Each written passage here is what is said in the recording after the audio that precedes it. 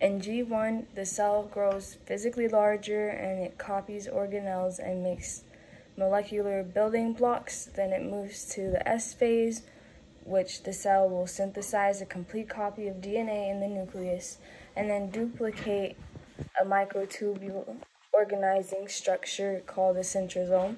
And the centrosomes will help separate DNA during the M phase. Then it will move to G2 and the cells will grow more, make proteins and organelles, and begin to reorganize contents in the cell to prepare for mitosis. And then when mitosis starts, it has prophase, prometaphase, metaphase, anaphase, and telophase. In prophase, at the beginning, the chromatin will condense and the chromatin coils will become compact and this will make visible chromosomes.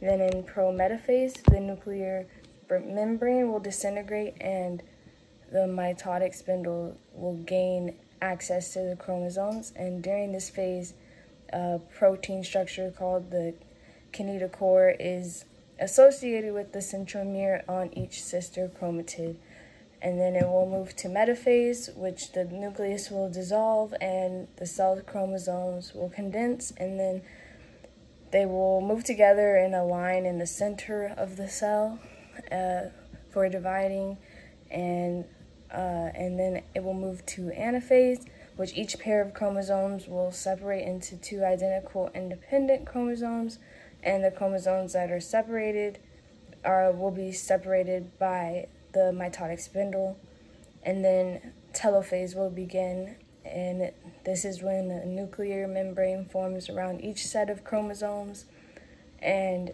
it will separate the nuclear DNA from the cytoplasm, and the chromosomes will begin to uncoil, which makes them diffuse and be less com compact. And then what's happening to the nuclear membrane during mitosis at the beginning of mitosis, the chromosomes condense, and then the nucleolus will disappear and the nuclear envelope breaks down. And this will lead to release of most of the contents in the nucleus and um, the contents of the nucleus into the cytoplasm.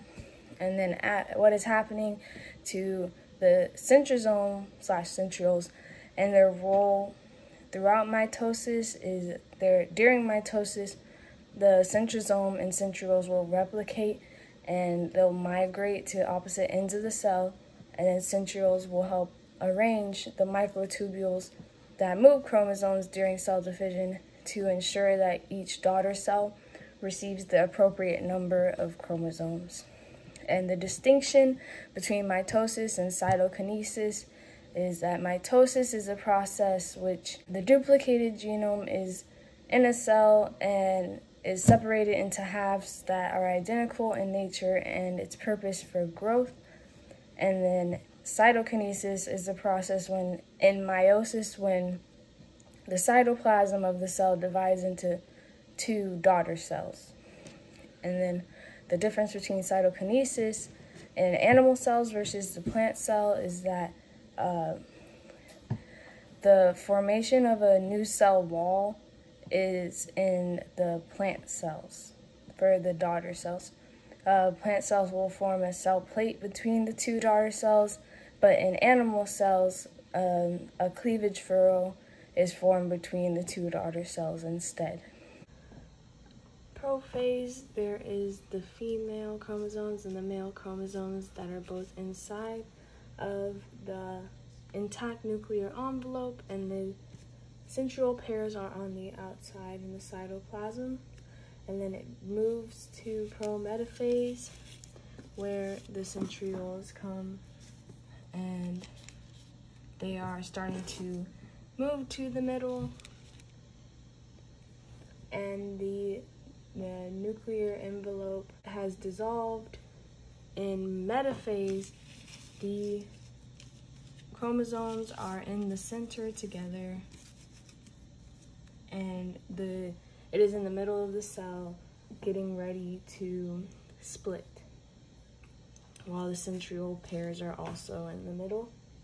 Then in anaphase, this is where the cell starts to slightly separate with one pair being pulled toward one pole and another pair being pulled towards the other. And you have your centrioles as well. One in one side of the pole and one in the other side of the pole. And then after anaphase, it starts to go to telophase, and this is where the cells start to separate, becoming individual daughter cells. And in cytokinesis, you have two identical daughter cells.